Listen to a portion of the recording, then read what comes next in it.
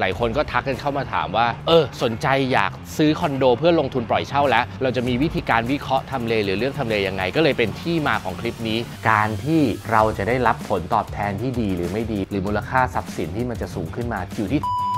คอนโดมันเป็นทรัพย์สินที่ต้องใช้เงินลงทุนเยอะหลักล้าน สมมุติว่าคอนโดที่เราอยากจะลงทุนโครงการเขายังก่อสร้างไม่เรียบร้อยเราจะทำยังไงได้บ้าง สวัสดีครับ ก่อนหน้านี้เราเคยทำเรื่องคลิปการลงทุนแบบ passive income ก็คือการซื้อคอนโด เพื่อปล่อยเช่าในรูปแบบที่เรียกว่า IP โปรแกรมกันไปแล้วสำหรับใครที่ยังไม่ได้ดูคลิปนั้นแล้วงงว่าคำว่า IP โปรแกรมมันเป็นยังไงเป็นเป็นการลงทุนรูปแบบใหม่ มันดีกับเราหรือเหมาะกับเรายังไง มีคลิปที่ผมเคยทำไว้ก็เดี๋ยวแปะลิงก์ไว้ให้ทุกคนก็กดเข้าไปดูกันได้ หลายคนก็ทักกันเข้ามาถามว่า เออ สนใจอยากซื้อคอนโด เพื่อลงทุนปล่อยเช่าแล้ว เราจะมีวิธีการวิเคราะห์ทำเลหรือเลือกทำเลยังไง ก็เลยเป็นที่มาของคลิปนี้ ที่เราอยากจะมาเล่าให้ฟังว่า เรามีทริคในการที่จะเลือกคอนโด เพื่อปล่อยเช่ายังไง เพราะตัวผมเอง นอกเหนือจากการทำธุรกิจร้านอาหาร นอกเหนือจากการทำเพจแล้ว เราก็ยังมีการลงทุนคอนโด เพื่อปล่อยเช่าด้วย และไหนๆเราจะพูดถึงเรื่องการลงทุนคอนโด เพื่อปล่อยเช่าแล้ว เราก็ควรจะต้องมาถ่ายที่คอนโดวันนี้ ผมก็อยู่ที่คอนโดบริกตันศรีราชานะครับซึ่งเป็นคอนโดในเครือของ Origin Property ด้วย หลายคนคงคิดว่าเอ๊จะซื้อคอนโดเพื่อปล่อยเช่าจะต้องมีการวิเคราะห์ทำเลละเอียดมันทำร้านอาหารเลยไหมอยากบอกแบบนี้ว่าเวลาเราจะทำร้านอาหารหรือหรอหรือเราอยากจะลงทุนธุรกิจอะไรสักอย่างหนึ่งเนี่ยมันเป็นเงินหลักล้าน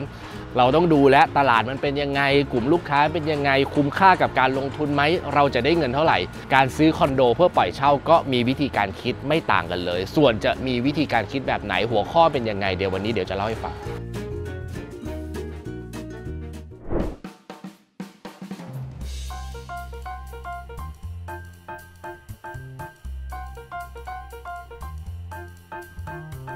แรกก็คือเรื่องของทำเล แน่นอนว่าการลงทุนในคอนโดเนี่ยมันก็คือการลงทุนในอสังหาริมทรัพย์ มันก็คือทรัพย์สินที่ไม่สามารถเคลื่อนย้ายไปไหนได้ การที่เราจะได้รับผลตอบแทนที่ดีหรือไม่ดี ไม่ว่าจะเป็นค่าเช่า หรือมูลค่าทรัพย์สินที่มันจะสูงขึ้นมาที่เรียกว่า capital gain เนี่ยอยู่ที่ทำเลเป็นหลักเลย แต่สุดท้ายมันก็ขึ้นอยู่กับจุดประสงค์ของคนที่จะลงทุนเองว่าเราจะลงทุนเพื่อซื้ออยู่หรือซื้อเพื่อปล่อยเช่าหรือลงทุนต่อ เพราะว่าถ้าเกิดเราซื้อเพื่ออยู่เอง วิธีการพิจารณาก็จะไม่เหมือนกันถูกไหมครับ เราอาจจะดูที่ความชอบเราเป็นหลัก พฤติกรรมนิสัยเราอะชอบอยู่ที่ทำเลไหน เรามีความคุ้นเคยที่ทำเลไหน หรือแหล่งงานที่เราทำงานใกล้คอนโดตรงไหน แต่ถ้าเกิดเราบอกว่าอันนี้เราตัดสินใจที่จะเช่าเพื่อการลงทุนเนี่ยมันอาจจะไม่ใช่ทำเลที่เราอยู่อาศัยเป็นปกติแล้ว แต่เป็นทำเลที่เรารู้จักมันดีทำเลที่เราเรามีความรู้กับมันทำเลที่เราคิดว่ามันใกล้แหล่งงาน เราก็ควรจะต้องไปวิเคราะห์ในการเลือกทำเลตรงนั้นฉะนั้น พอมันเป็นคอนโดเนี่ยสิ่งที่อยากจะแนะนำทุกคนคืออยากให้เอาตัวเองเข้าไป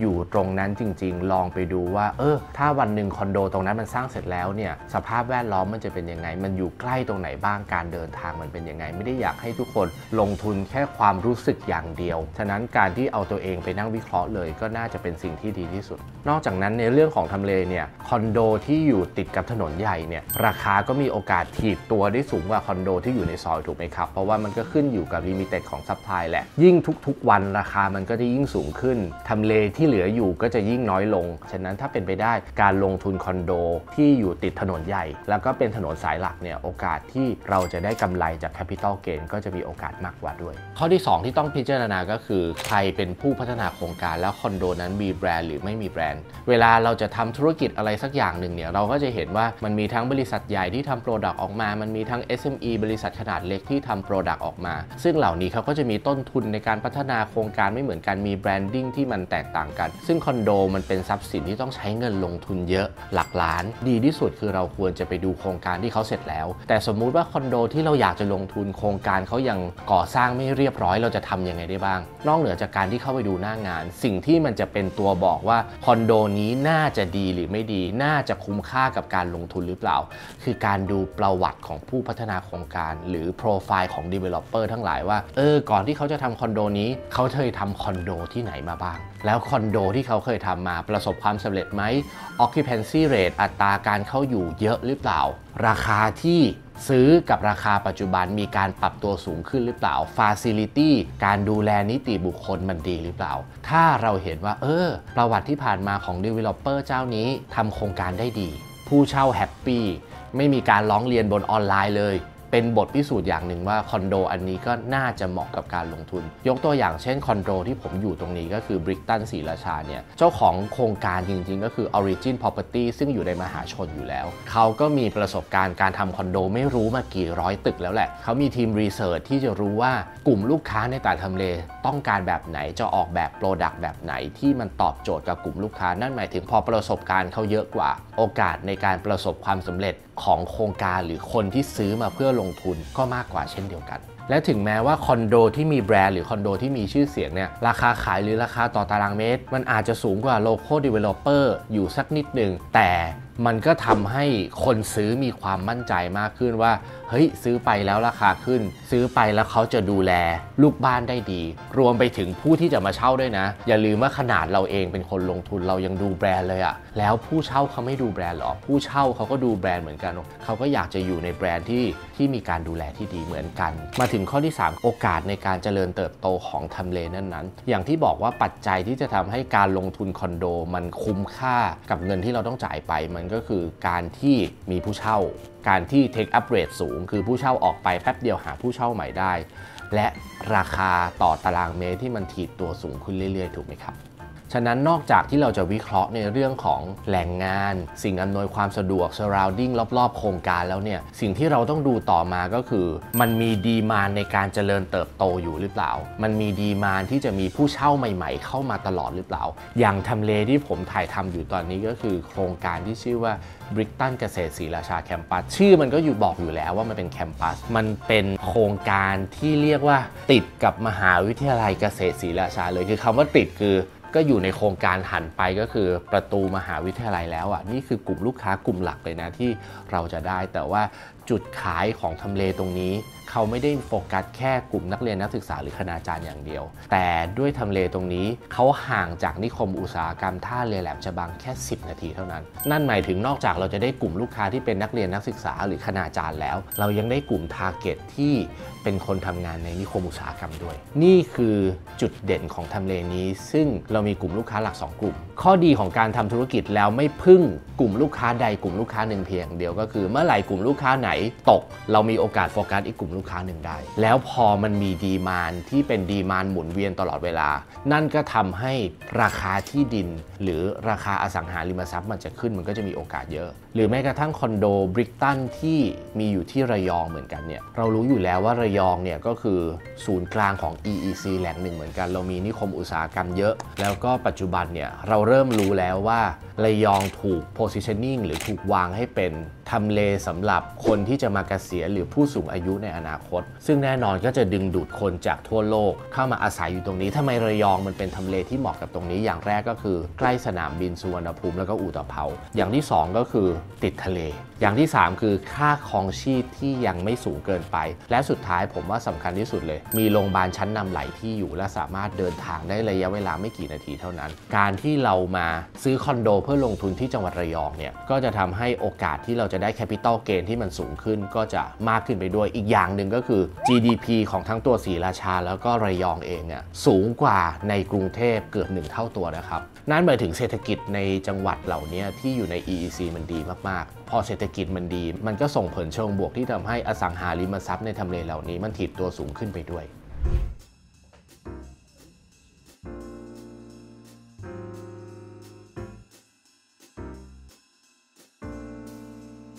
ข้อที่ 4 ที่เราต้องพิจารณาก็คือจุดขายหลักของโครงการ ถ้าเราซื้อคอนโดเพื่ออยู่อาศัยเอง ผมว่าข้อนี้อาจจะไม่ได้จำเป็นมาก เพราะมันขึ้นอยู่กับความชอบของเราเป็นหลัก แต่ถ้าเกิดเราคิดว่าเราจะซื้อคอนโดเพื่อปล่อยเช่าเนี่ยโปรดักที่เราจะไปปล่อยเช่า มันควรจะมีจุดขายเฉพาะตัวบางอย่าง ที่เรียกว่าเอาคอนโดในทำเลใกล้ ๆ กันมาวางเรียงกันเนี่ยคอนโดนี้ก็เป็นคอนโดที่คนต้องสนใจ เขาเรียกว่า unique selling point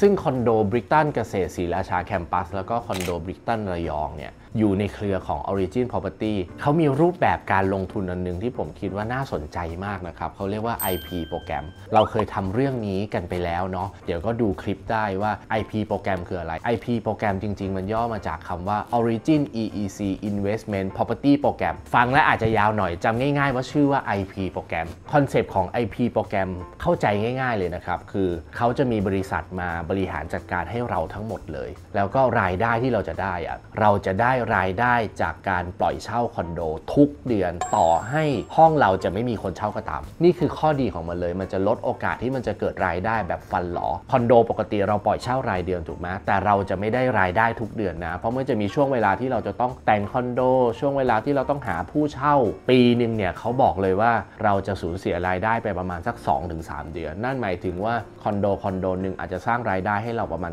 9-10 เดือนเท่านั้น แต่การลงทุนแบบ IP โปรแกรมเราจะได้รายได้ทุกเดือน เพราะเขาจะเอาห้องใน port เขาทั้งหมดอะมาหารายได้แล้วก็เฉลี่ยรายได้ให้เราเงินไป แล้วพอโครงการของ b r i c t o n เนี่ยเขามีการลงทุนแบบ IP Program ขึ้นมา นั่นหมายถึงว่าในมุมของผู้เช่าอะเขาก็จะรู้สึกว่าเฮ้ยเขาไม่ได้เช่าแค่คอนโด เขาเหมือนเช่า service apartment อยู่ มันก็เป็นจุดขายที่เราสามารถเอาไปขายกับผู้เช่าได้เหมือนกัน อันนี้ก็จะทำให้เรามีโอกาสดึงดูดผู้เช่าที่ดีมาได้มากขึ้น ปัจจัยในการเลือกทำเลข้อต่อมาก็คือการดูแลทำไมการซื้อคอนโดจะต้องมีการดูแลด้วย ต่อให้เราบอกว่า เอ้ย มันก็มีคนเช่าไปแล้วนี่ เขาก็ไม่ต้องดูแลแต่อย่าลืมนะ วลาไฟเสีย เวลาน้ำรั่ว เวลาผู้เช่าออก เวลาจะรีโนเวทเป็นหน้าที่ใคร ก็เป็นหน้าที่ของเจ้าของห้องนี่แหละ แล้วถ้าเกิดเราดันไปซื้อคอนโดที่เราไม่ได้อยู่จังหวัดนั้นล่ะ เช่นเราอยู่กรุงเทพเราไปลงทุนคอนโดที่เชียงใหม่อย่างเงี้ย แจ้งไฟเสียจะต้องหาช่างซ่อม โอ้โห กว่าจะเซิร์ชผู้รับเหมาเจอเชียงใหม่ กว่าเราจะต้องบินไปคุย ค่าใช้จ่ายที่เราต้องเสียไป เวลาที่เราต้องเสียไปเนี่ยมันมาก หลังจากที่เราซื้อคอนโดไปเรียบร้อยแล้วเนี่ย บริษัทลูกของ Origin เองที่เรียกว่า HHR หรือว่า Hampton Resident and Hotel Management เนี่ยเขาจะมารับช่วงต่อและบริหารจัดการหมดเลยนะ เขาจะเปลี่ยนห้องคอนโดของเราให้กลายเป็น Service Apartment พอคำว่า Service Apartment มาเนี่ยมันคืออะไร Service Apartment เขาก็จะอัปเกรดห้องของเรา ให้มีบริการทุกอย่างเหมือน Service Apartment ไม่ว่าจะเป็นบริการซักรีด บริการอาหารเช้า บริการรถรับส่ง ก็จะยกระดับคอนโดของเราแล้วเวลาลูกบ้านจะติดต่ออะไรก็ตาม ไม่ต้องติดต่อเราละติดต่อ HHR อย่างเดียวเลย อันนี้ก็ทำให้เราไม่ต้องสนใจเลยเลย รอรับรู้รายได้เพียงอย่างเดียว ข้อสุดท้ายข้อ 6 ข้อที่ต้องเอามาพิจารณาในการเลือกลงทุนคอนโด ก็คือเรื่องผลตอบแทนแน่นอน เพราะเราซื้อคอนโดเพื่อลงทุน ทุกอย่างมันดีหมดแต่ผลตอบแทนมันไม่ดี มันก็คงไม่ถือว่าตอบโจทย์การลงทุนถูกไหมครับฉะนั้นการที่เราจะเลือกโครงการไหนโครงการหนึ่งเพื่อลงทุนเราจะต้องดูที่ผลตอบแทนด้วย ซึ่งถ้าเราเปรียบเทียบการลงทุนคอนโดในราคาประมาณ 2 ล้านบาทเนี่ยในระยองหรือศรีราชาเนี่ยเรายังได้รับผลตอบแทนที่ผมเรียกว่ายังเรียกว่า rental yield ที่ดีอยู่เลย แต่ถ้าเกิดเราอยากลงทุนคอนโด 2 ล้านบาท แล้วก็ผ่อนเดือนละประมาณหมื่นหน่อยๆ ในกรุงเทพมหานครเนี่ยผมว่ายากแล้วนะครับคอนโดระดับราคา 2 ล้านบาทในกรุงเทพนี่คือคุณอาจจะต้องอยู่ไกลแบบไกลมากๆ จนคุณไม่รู้เลยว่าจะหาผู้เช่าได้หรือเปล่า ณ วันนี้ถ้าเราคิดว่าเราอยากจะเริ่มต้นในการมาเรียนรู้การลงทุนซื้อคอนโดเพื่อปล่อยเช่า แล้วมีภาระต่อเดือนที่ไม่มากจนเกินไปเนี่ย การมาเริ่มต้นเรียนรู้การลงทุนในทำเลศรีราชาหรือระยอง ผมคิดว่าเป็นทางเลือกการลงทุนในการเริ่มต้นที่ดี นั่นหมายถึงว่าก็ ถ้าเราไม่ต้องมานั่งสนใจว่า เอ๊ะ เราจะดูแลได้ไหม เราไม่ต้องมานั่งสนใจในการหาผู้เช่าด้วย เพราะว่า HHR เนี่ยในเครือของ Origin เนี่ยเขาจะทำการหาผู้เช่าให้เราหมดเลย แล้วผู้เช่าของเขาดีกว่าการหาผู้เช่าเองตรงไหน เพราะเนื่องจากเขาเป็นบริษัทที่จะต้องไปหาผู้เช่าตลอดเวลา แล้ว target หนึ่งของศรีราชาแล้วก็ระยองคือ corporate ถูกไหมครับ ไม่มีโอกาสเลยที่คนปกติอย่างเราจะเดินไปหาบริษัทโรงงานอุตสาหกรรม แล้วปล่อยคอนโดให้เขาเช่า การที่เรามี IP โปรแกรมเข้ามาเนี่ยเขาก็จะมีทีมงานที่เรียกว่า corporate sales ไปวิ่งกับพวกโรงงานอุตสาหกรรมบริษัทขนาดใหญ่ต่างๆ พอเราวิ่งไปในตลาดนี้มันคือตลาดที่คนเช่าไม่ได้จ่ายคนจ่ายไม่ได้เช่า ต่อให้เขาจะมีการหักค่าบริหารจัดการอะไรไปก็ตามเนี่ย renter yield ของเราก็ยังดีกว่าการที่เราปล่อยเช่าเองด้วยซ้ำแต่อย่าลืมนะครับว่าสุดท้ายค่าส่วนกลางเรายังต้องเป็นคนรับผิดชอบนะครับ ฉะนั้นก็อยากให้เข้าใจตรงนี้ไว้ว่า นอกเหนือจากการที่เราวิเคราะห์ทำเลอะไรก็ตามเนี่ยก็ต้องดูผลตอบแทนการลงทุนด้วย ซึ่งในแต่ละทำเลในแต่ละจังหวัดเนี่ยก็จะมีผลตอบแทนการลงทุนที่ไม่เหมือนกัน เราไปในทำเลที่มีการแข่งขันสูง เราไปในทำเลที่ห้องยังเหลืออีกเยอะเหมือน supply มากกว่า demand น่ะโอกาสที่เราจะได้ผลตอบแทนสูงมันก็ต่ำแต่ถ้าเราลองย้ายพื้นที่ไปอยู่ในทำเลที่มันยังมีโอกาสการเจริญเติบโตสูงออยู่ในทำเลที่มันยังมีดีมานที่เพิ่มขึ้นในทุกๆ ปีเนี่ยแล้วยิ่งถ้ามีมืออาชีพมาช่วยบริหารจัดการมาหาผู้เช่าแล้วเนี่ยโอกาสที่เราจะได้ผลตอบแทนที่ดี รายได้เราจะเข้ามาต่อเนื่องก็จะมีเยอะมากกว่าด้วย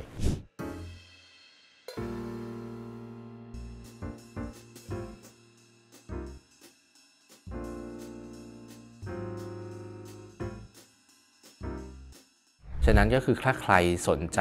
การลงทุนคอนโด โดยเฉพาะที่ศรีราชาหรือจังหวัดระยองเนี่ยก็อยากให้ทุกคนเสียเวลาขับรถไปดูหน่อย ไม่ว่าจะเป็นคอนโดบริกตันเกษตรศรีราชาแคมปัสหรือว่าบริกตันระยอง ขับรถไปดูนิดเดียวเราก็จะรู้ว่าเออทำเลแบบนี้เราชอบหรือไม่ชอบ หรือถ้าใครไม่ได้มีเวลา เดี๋ยวผมก็จะแปะลิงก์ไว้ด้านล่างก็กดเข้าไป ติดต่อทีมงานเข้าไปพูดคุยสอบถามได้ ใครชอบความรู้ดีๆแบบนี้อาจจะไม่ใช่ความรู้เรื่องของการทำธุรกิจร้านอาหารเพียงอย่างเดียวยว แต่เป็นความรู้เรื่องการลงทุนอะไรต่างๆเนี่ยผมก็พยายามจะไปเรียนรู้หาข้อมูลเพื่อมาแชร์กับทุกคนได้ฟังกัน แล้วก็อย่าลืมเหมือนเดิมครับ ถ้าชอบก็อย่าลืมกดไลค์กดแชร์กดติดตาม ต่อเพนกวินในทุกช่องทางด้วยครับ แล้วเดี๋ยว EP หน้าจะเจอกับเรื่องอะไร เดี๋ยวเราไปดูกัน